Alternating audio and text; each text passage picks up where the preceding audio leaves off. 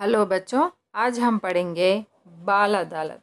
बाल अदाल, बाल अदालत जो पाठ जो है, इसमें पर्यावरण संरक्षण के लिए इसमें बताया गया है। बाल अदालत पाठ से आपको जैसे कि पोस्टर बनाए इस तरह के प्रश्न आएँगे। या तो नारे लिखिए पर्यावरण पर, या तो नारे, पोस्टर, या सूचना, या मित्र को पत्र इस तरह के प्रश्न पूछे जाएँगे। इस पाठ का उन्मुखीकरण।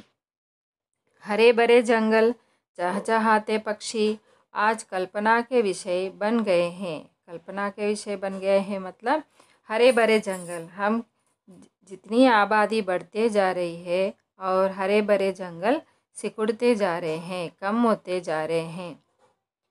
भूकंप, बाढ़ आदि प्रकृति की ओर से मनुष्य को दी गई चेतावनी है।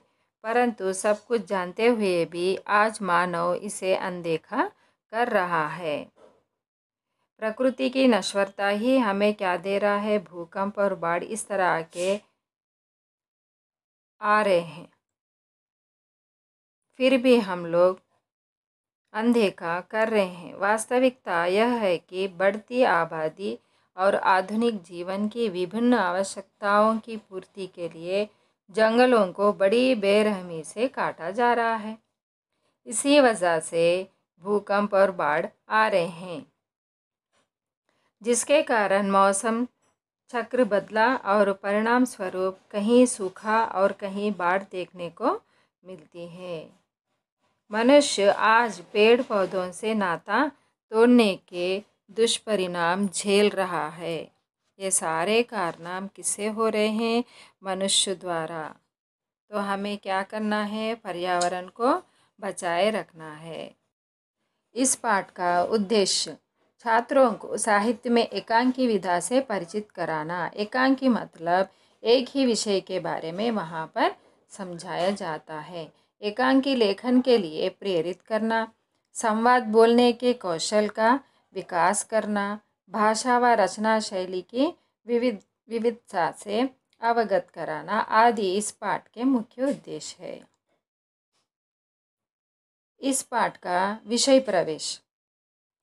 विषय प्रवेश में पर्यावरण के बिगड़ने से आगामी भविष्य में और कई समस्याएँ उत्पन्न हो सकती है। पर्यावरण हमारा रक्षा कवच है। इसका संरक्षण करना हमारा कर्तव्य है, इस पाठ में समझाया गया है। बाल अदालत में दो मुकदमे चले। पहला मुकदमा जो है, घीसाराम नामक लकड़ी व्यापार पर जंगल के पेड़ काटने का आरोप लगाया गया है और पता चला कि जिस आराम लकड़ी का खानदानी व्यापारी है अनपढ़ होने के कारण उसे पेड़ों का महत्व पता नहीं था। यह विषय अति संवेदनशील है। संवेदनशील मतलब वेरी सेंसिटिव हमें इस बात पर विचार करना ही होगा कि अशिक्षा के कारण हो रहे पर्यावरण हानि को किस प्रकार रोका जाए।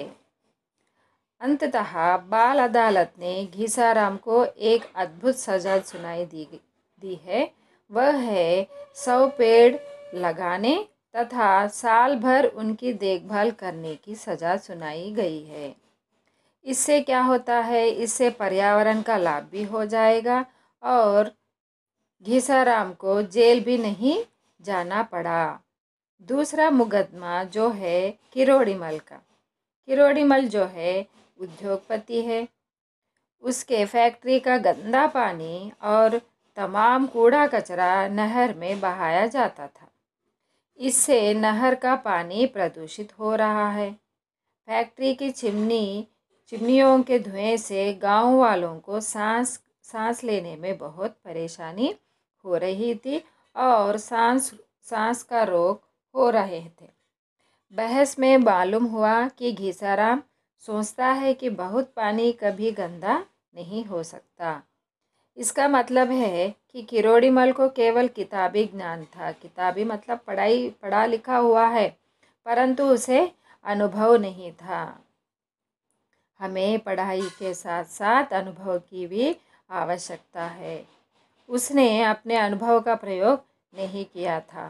बाल अदालत द्वारा किरोड़ीमल को फैक्ट्री की चिमनियों को ऊँचा करवाने का आदेश दिया गया और साथ में फैक्ट्री का कूड़ा कचरा नहर में बहाना बंद करके अपने खर्चे पर नहर की सफ़ाई कराने की, कराने को कहा गया।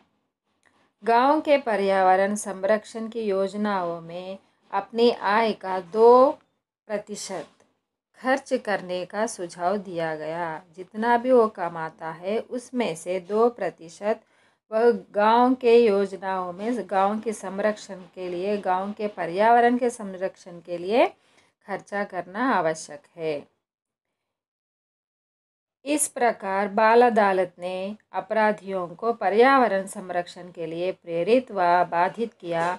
लोगों ने बाल अदालत के फैसलों को सराहना की।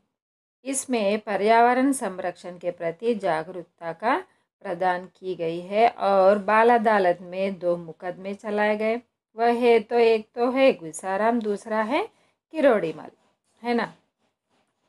तो यहाँ पर बाल अदालत में कल जो मुकदमे चले उसमें भविष्य के लिए अत्यंत महत्व रखते हैं, क्योंकि यह मुकदमे पर्यावरण संरक्षण से संबंधित है।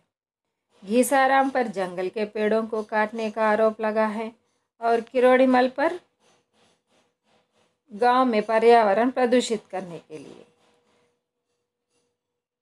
उनकी सज़ा जो खास बात यह थी कि इसमें पर्यावरण की क्षति को ही पूर्ण करने की व्यवस्था की गई।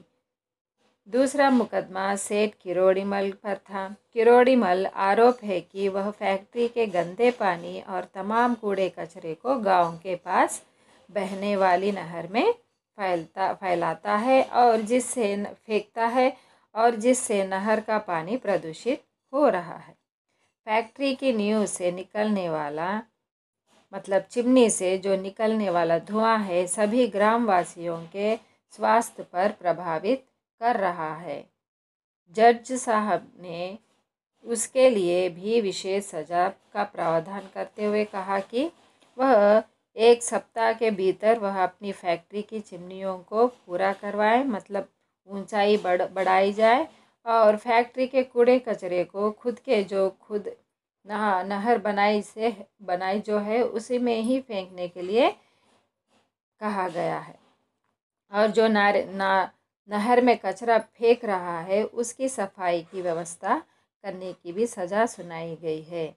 गाँव का धनी व्यक्ति होने के नाते नाते, वह चाहिए कि वे अपने गाँव के पर्यावरण संरक्षण की योजनाओं में अपनी आय का दो प्रतिशत खर्च करें। इसके लोगों से, लोगों के सामने एक उदाहरण प्रस्तुत होगा। इस प्रकार सभी पर्यावरण के प्रति अपने दायित्व को लेकर सजग हो सकेंगे। इस मुकदमे से एक महत्वपूर्ण बात उभर कर आई कि पर्यावरण के खतरे के पीछे एक कारण लोगों का अशिक्षित तथा कानून से अनजान होना भी है। अतः लोगों को पर्यावरण के संरक्षण हेतु शिक्षा द्वारा जागरूक करने के लिए कदम उठाने में देरी नहीं करनी चाहिए। तो बच्चों, बाल अदालत में हमने यह सीखा कि पर्यावरण को हम, रक्षा करने का दायित्व तो हमारे ही हाथों है। तो बच्चों, मैं आशा करती हूँ कि आपको यह पाठ समझ में आया हो। धन्यवाद।